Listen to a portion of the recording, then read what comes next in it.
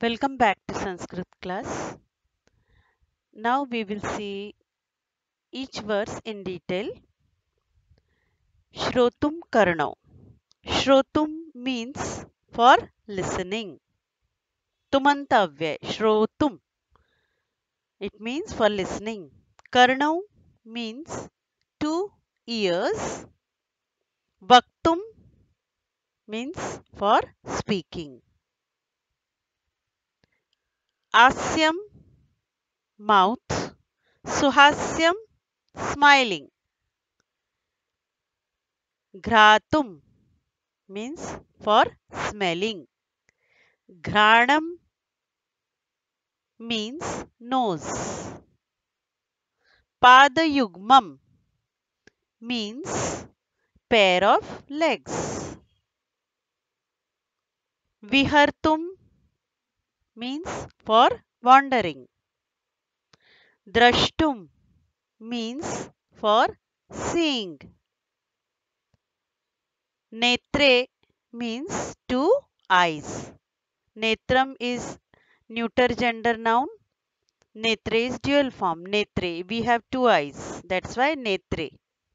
Hastayugmam means two hands. Datum means for giving. Dhyatum means for meditation. Chittam means man. Whenever man is there, chittam or manam is there, in English, while translation, we will use mind for that. Patu means protect me. Yena means by whom. It is uh, Tritiya Vibhakti Ekvachanam of Yat Sarvanam. Now we will see this verse in detail. Shrotum Karnau means two ears to listen. May the God who create created Srushtam means created. May the God who created two ears to listen. Shrotum Karnau. Vaktum Asyam Suhasyam. It means smiling mouth. Suhasyam Asyam. Suhasyam means smiling. Asyam means mouth. Smiling mouth to speak. Vaktum means for speaking. Ghratum Ghranam. Ghratum means for smelling. Ghranam means nose. Nose for smelling. Padayugmam Vihartum. Padayugmam means Yugmam means a pair. Pad means leg. A pair of legs for Vihartum means wandering.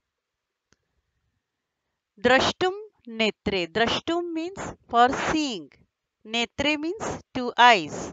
Two eyes for seeing. Hastayugmam means a pair of two hands. Hastayugmam cha datum. Datum means for giving. God has given us two uh, hands for donation, for giving. Dhyatum chittam. Dhyatum means for meditation.